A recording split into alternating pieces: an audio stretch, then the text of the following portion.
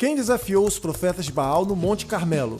Elias, Eliseu, Daniel ou Samuel?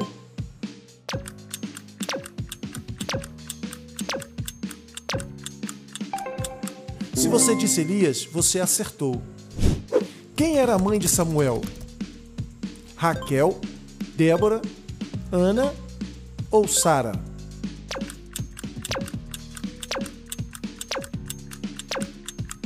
Se você disse Ana, você acertou.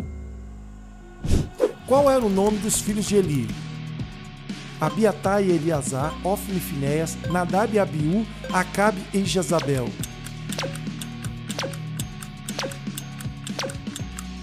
Se você disse Ofni e Finéias, você acertou.